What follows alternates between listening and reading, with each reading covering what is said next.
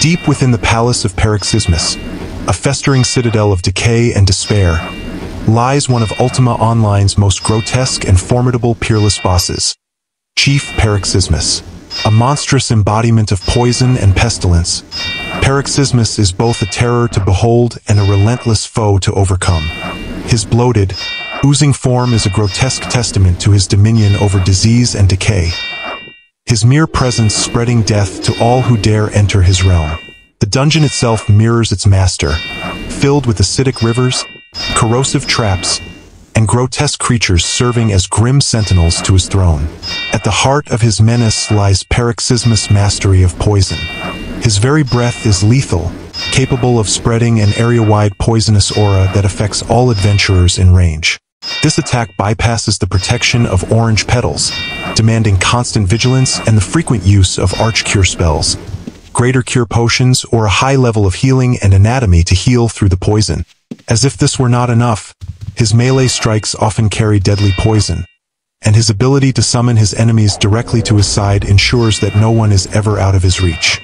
What truly sets him apart, however, is his ability to consume pets and summons, instantly restoring himself to full health, even from the brink of death, rendering traditional tamer strategies nearly impossible. It is strongly recommended to leave pets at home and instead utilize ethereal mounts for the task. To enter the palace, an acid-proof rope must be acquired either by crafting it with a carpenter recipe, or simply purchasing one from Lucius the Adventurer, who is near the entrance of the dungeon, which has a short timer on it.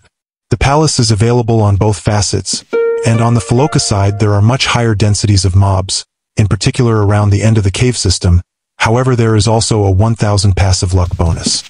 Reaching Chief Paroxysmus is a challenge in itself. Adventurers must first gather keys from the palace's corrupted inhabitants, including corrosive slimes and the fearsome putrefier. The keys collected from corrosive slimes are a skull, a torso, and legs, and it's a good idea to add these to auto-loot lists once found. Corrosive slimes must be fought with weapons that have spell channeling, otherwise weapons will suffer rapid durability loss due to the acid. Otherwise, a pet or summon should be used. The slimes are easily located near the dungeon entry, near the center, or in the southern corner, and other mobs are best passed by. While traversing the dungeon, be wary to not linger too long on the rivers of acid. The acid won't do damage if otherwise passed over at any point throughout the dungeon. The putrefier is a green Balron located in the southwest corner, and he holds the final key, the spleen of the putrefier, which is small and easy to miss. The putrefier uses an area poison gas attack and hits fairly hard and is immune to poison damage.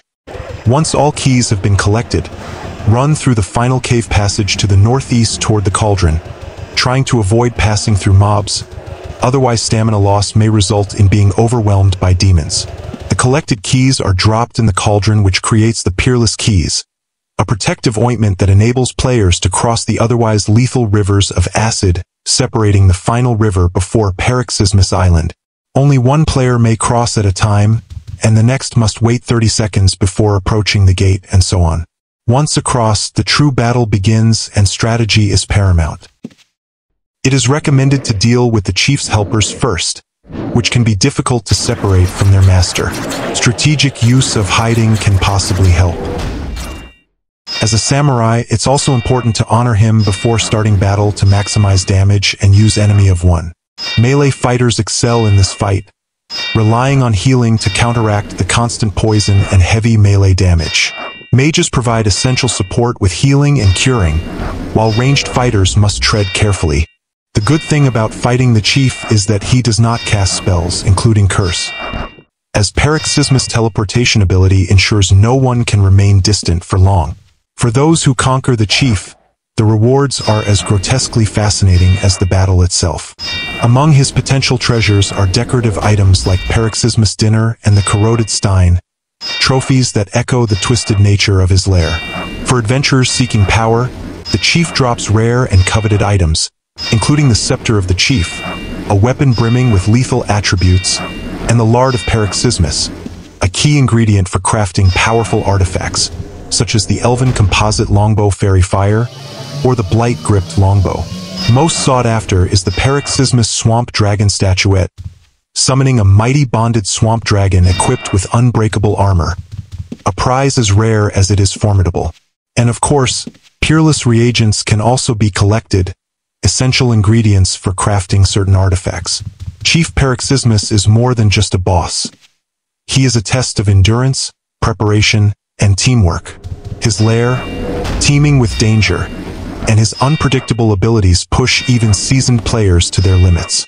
Yet, for those who can overcome the grotesque lord of poison and pestilence, the spoils and the satisfaction of victory are unparalleled. In the end, Paroxysmus is not only a symbol of Ultima Online's most challenging content, but also a grim reminder of the balance between reward and risk in the ever-evolving world of Britannia.